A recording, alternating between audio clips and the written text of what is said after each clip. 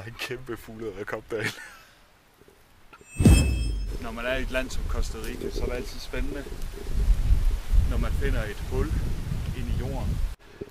Først så skal jeg bruge nogle lange små grene her.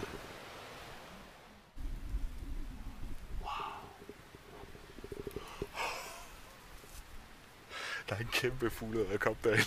Den er lagt sådan her. De bliver ikke større end den her i Costa Rica. Men uh, nu er jeg lidt spændt på, om jeg kan få den ud.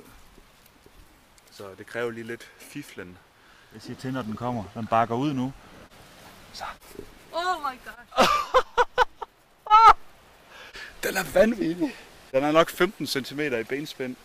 Og tyk bagkrop. Det er en stor hund. Jeg skal bare lige have det ud, hvor vi kan se dig. Jeg skal bare lige have det ud, hvor vi kan se dig. Der ja, du er flot. Du er flot. Stille og roligt, vand. Stille og roligt. Det der har vi den. Yes, man. Det er simpelthen imponerende at finde sådan en i vild. Nu er det tid til at få den ind i hulen igen. Så nu håber vi, den vil makke ret. Kom. Så er du hjemme igen. Og godt. Og den blev lidt sur igen. Det er vildt. Nu har jeg holdt fuglederkopper i nogle år i terrarier fra hele verden. Blandt andet også et par arter fra Costa Rica.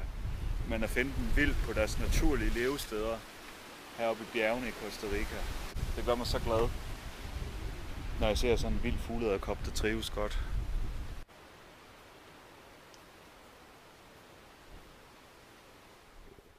Martin, hvad laver du?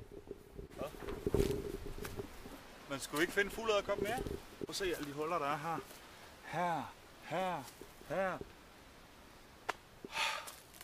Det er næsten ikke til at blive færdig.